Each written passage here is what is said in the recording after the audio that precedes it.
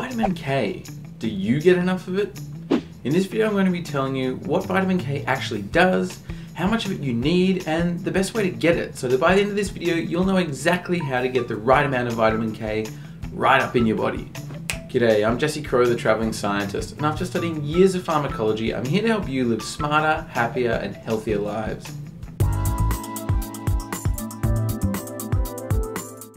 Now, vitamin K activates coagulation factors in the blood, so it's really important for blood clotting.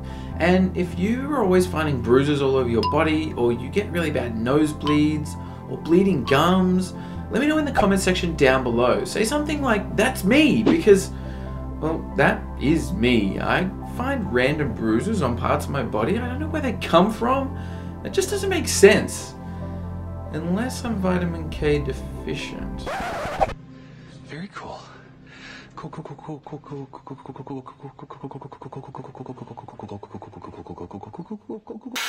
A lot of research has shown that supplementation with vitamin K helps people to bleed less. And I don't know about you, but I really like my blood inside my body, so that's good to know.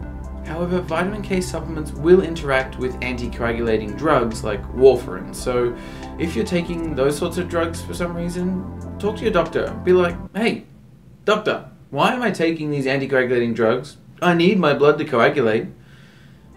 Maybe don't say it exactly like that. I don't know, I'm not a doctor. Also, vitamin K is known to help with a bunch of other diseases like osteoarthritis, rosacea, and even some types of cancer. And just for the record, the vitamin K that I'm talking about is not ketamine. That's a video I made a few weeks ago, you can check that out here.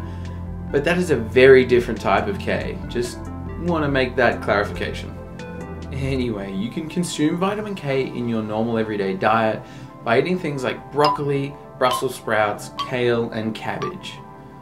Mmm, all the tasty vegetables. Or if you're not so keen on eating those things, you can always take a vitamin K supplement instead. The recommended daily dosage is around 100 micrograms. Now we talked to an interesting character called Bloody Billy. He takes vitamin K supplements every single day, and here's what he had to say about them. G'day guys, I'm Billy.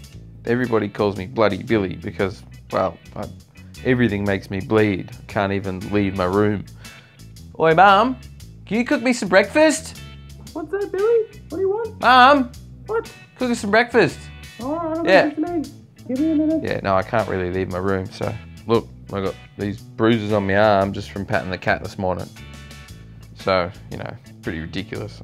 Some weird blood disorder, hemophilia or something. I don't, I don't know what it is. I started taking vitamin K to reduce the bleeding. Definitely helped a bit. Like those bruises should probably cover my whole arm, but they, they don't. So that's vitamin K is definitely doing something. I don't really know how it works, but um, yeah. So I'll keep taking it, chill here in my room, and keep kicking ass at video games.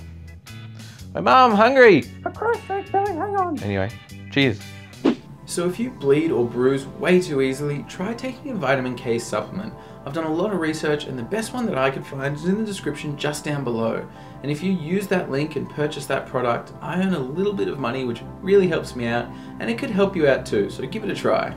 And if you want to make some changes to live healthier and happier every single day, you can download my free resource, 7 Times Scientific Strategies. That's just in the description down below as well, and it could definitely help improve your life today.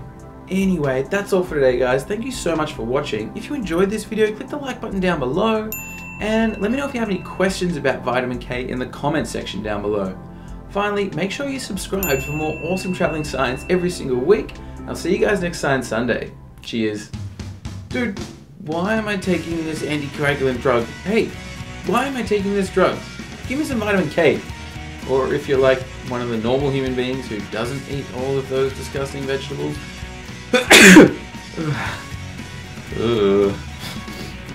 Excuse me. Um,